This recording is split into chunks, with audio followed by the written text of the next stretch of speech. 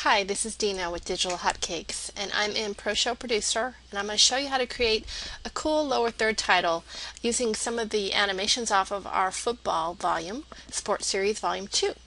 Specifically, we're going to be using the football lower third number 2 and football fire and you're going to need the corresponding masks for those two clips as well.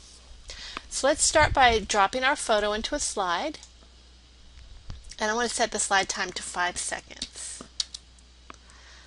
And I'm going to double click on the slide to open my slide options and I'm going to adjust this photo a little bit. I want to zoom in on him and maybe center him a little more. Right about there. Okay. And now let's bring in that lower third.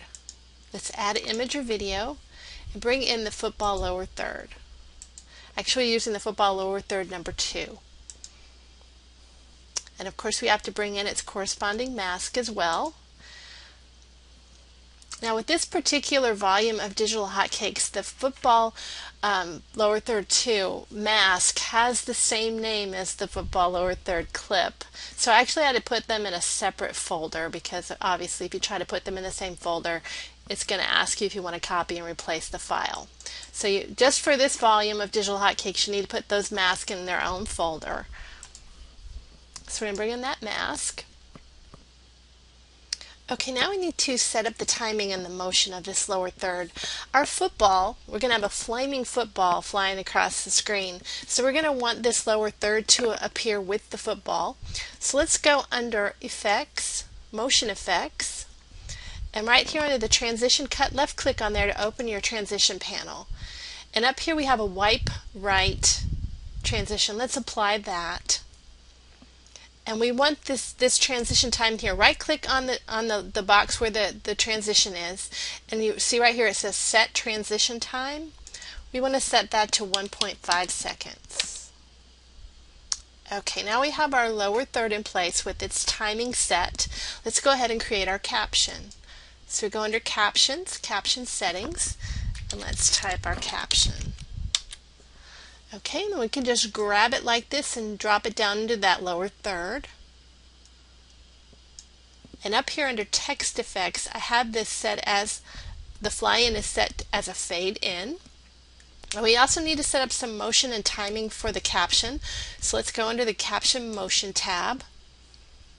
And the first thing we want to do is right click on keyframe number one. We're going to set time for this keyframe and we're going to set it to 0.75 seconds. Also, I want to make sure that this fly-in is, is set for one second. As you can see, it already is. If it wasn't, you right-click, and then you, you would choose the set effect time and then set it to one second. And also, under the starting position here, I want to reduce the opacity to 50%. That's going to give this title when the flaming football flies over, it's going to make the title look like it's appearing as the football is flying over. Okay, speaking of the flaming football, that's the next step. So let's go back to layers and we're going to add that football fire. Okay, and once again, we got to add the football fire mask, add a masking layer, add image or video,